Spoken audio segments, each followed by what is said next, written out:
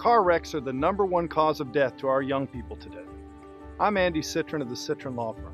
To help educate our kids about the seven deadly driving dangers that cause most fatalities, I teach a free program at area schools called Alive at 25.